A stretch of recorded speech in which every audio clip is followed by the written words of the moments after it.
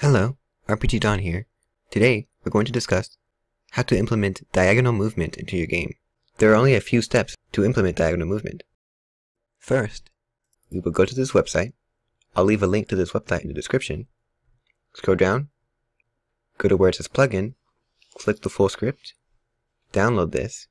When it's downloaded, go back to your game, game, open folder, double click JS, double click plugins, back to over here, click it, show in folder.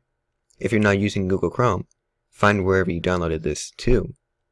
Since I have it here, I'll right click and copy, exit, then go back to the folder that I opened up through my game, or go back to your game, game, open folder, double click JS, double click plugins, right click and paste the plugin, exit, go to your plugin jigsaw, double click a row, find it in your scroll box.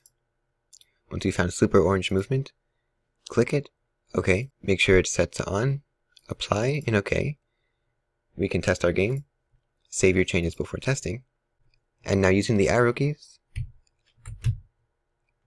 left and up make me go diagonal, and so do the other options. That's it for this tutorial. Please like and subscribe to show your support. If you have any ideas of what I should make a tutorial about, please leave a comment about it. Thank you for watching. See you on the next video.